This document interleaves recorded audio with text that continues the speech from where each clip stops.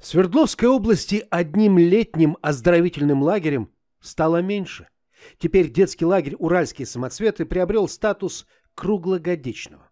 Новую структуру одного из старейших, некогда пионерских лагерей, расположенных в Верхней Сысерте, накануне оценил губернатор Свердловской области Евгений Куйвышев.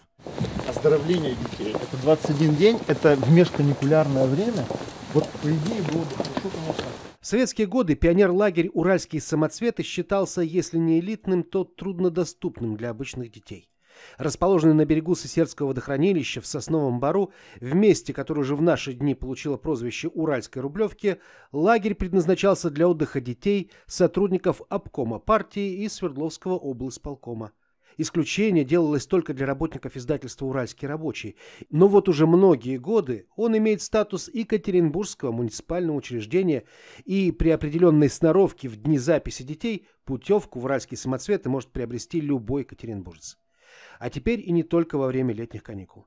В этом году за счет прямой субсидии из федерального и при софинансировании местного бюджета к двум ранее имевшимся благоустроенным каменным корпусам добавились два корпуса из быстро возводимых конструкций, проживание детей в которых возможно в любое время года.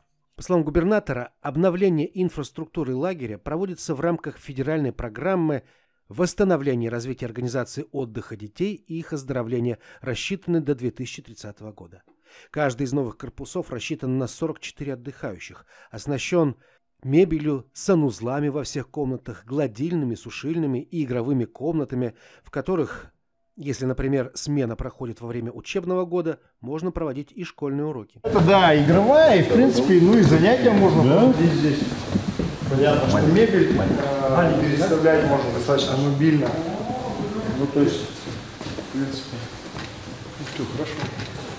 Ранее в уральских самоцветах появился круглогодичный бассейн, уличные баскетбольные и волейбольные площадки, футбольное поле, летняя эстрада – была реконструирована столовая на 290 мест. Оснащен медицинский корпус, в котором в случае чего помощь могут получить не только юные отдыхающие, но и их воспитатели и вожатые. Для них наготове валерьянка, пустырник, глицин, новопосит. Всего в одну смену отдых и оздоровление в этом лагере могут получить 378 детей, а таких смен в году теперь станет больше, чем привычные 4. Как отметил Евгений Куйвышев, в Свердловской области удалось сохранить одну из самых развитых в стране сетей детских оздоровительных организаций. Их у нас 1300. Только за лето в загородных лагерях отдохнули 200 тысяч маленьких свердловчан, а с начала года таким оздоровлением охвачено уже более полумиллиона школьников.